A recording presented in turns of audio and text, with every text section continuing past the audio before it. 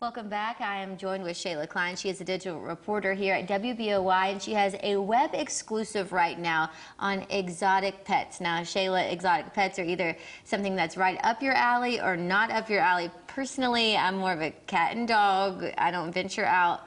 But what have you learned about exotic pets? Well, I actually own a sugar glider, so I already know a good bit about exotic pets.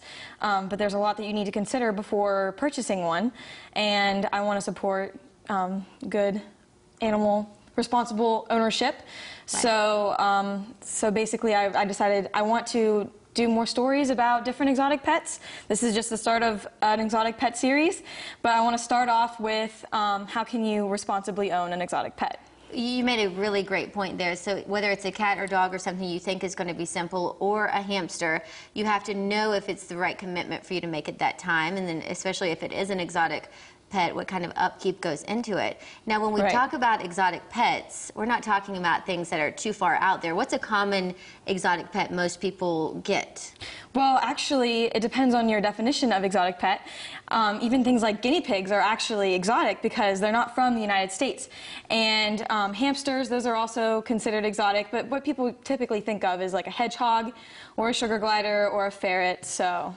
Now, those are all small animals, and I mean, they don't take much um, attention necessarily?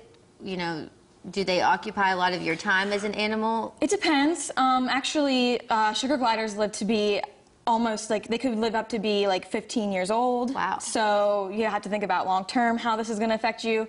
Um, if you're getting a, a, a, single sugar glider, you do have to dedicate a lot of time to them because um, they are colony animals, is what they're called. So they are very social animals. A lot of times people say that they need a, a buddy in order to survive. Right. So um, I really guess I'm thinking depends. about like a dog. You don't have to necessarily go walk them on your lunch break, but right, yeah. I mean, if you're gonna get a hamster, I'm sure that you don't yeah. have to like you know play with them all the time.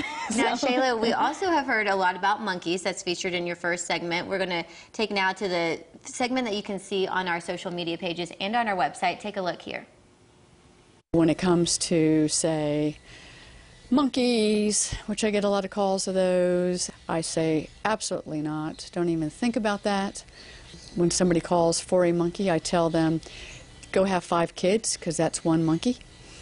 So I don't think anybody is ready or prepared for that. And I'm sure there's people out there that will disagree, and that's fine.